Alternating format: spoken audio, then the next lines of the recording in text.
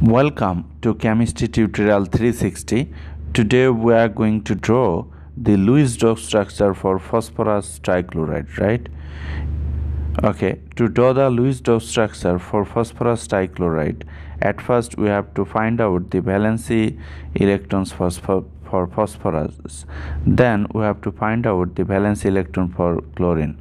Look at here, the atomic number of phosphorus is 15 so if we do the electronic configuration for phosphorus we have uh, we'll get this electronic configuration. Look at here.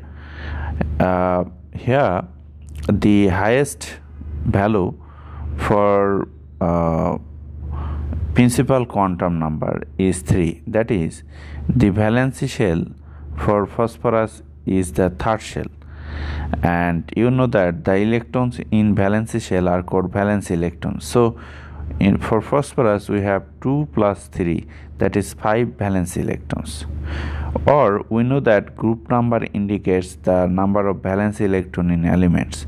Phosphorus is a element of group 5a that's why it has 5 valence electron. You have to delete the subgroup a or phosphorus is a element of group 15 if you delete the first digit then you will get 5 that is phosphorus has 5 valence electron.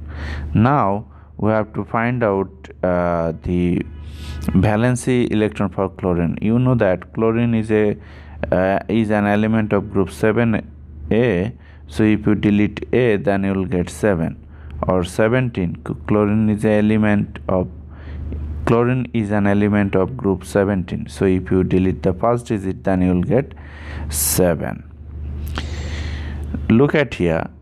The highest value for n equal to 3 and and here the number of uh, valence electron is 2 plus 5 that is 7 valence electron. Look at here. For phosphorus in phosphorus trichloride look at here the number of valence electron in phosphorus we know that 5 and for chlorine we have uh, 7 valence electron for each chlorine but here we have 3 chlorine atom. So I can multiply here with here by 3 that gives me 21 so totally we are getting 26 valence electron in phosphorus trichloride right?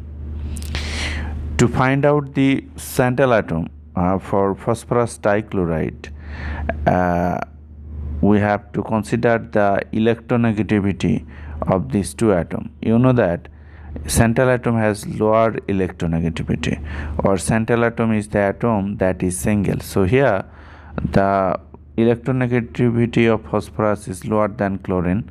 So phosphorus is the uh, central atom.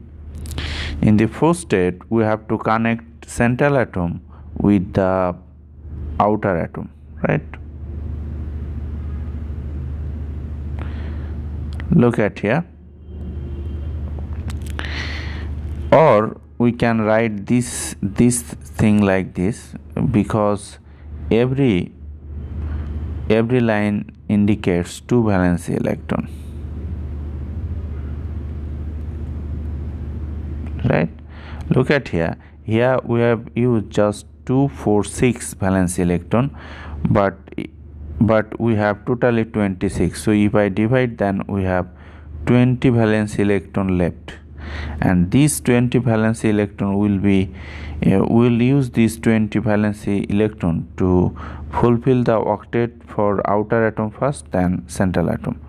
So look at here. Here chlorine has two valence electron.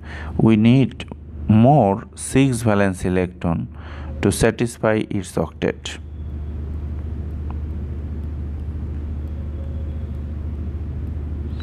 Right? So look at here this color, right? 2, 4, 6.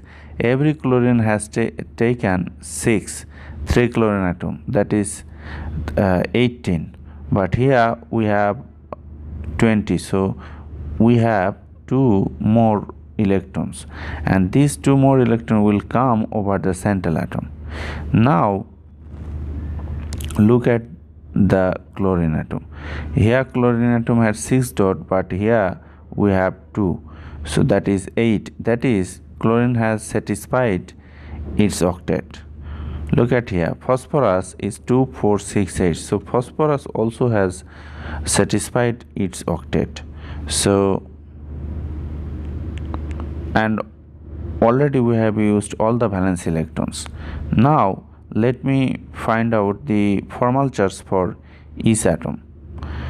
Look at here formal charge equal to valence electron minus dot attached minus line attached. Look at here for chlorine what will be the uh, formal charge? You know that the valence electron for chlorine is 7 uh, from the electronic configuration or group number then dot attached to this chlorine is 6 minus line attached to this chlorine is 1 so basically we have 0 right? Formal charge for chlorine. Every chlorine is symmetrical or similar so all chlorine will have 0 formal charge. Now let me find out the uh, formal charge for phosphorus. Phosphorus has 5 valence electron from from the group number or electronic configuration. Then dot attached to this phosphorus is minus uh, is 2 minus the line attached to this phosphorus is 3 so basically we are getting zero formal charge for phosphorus.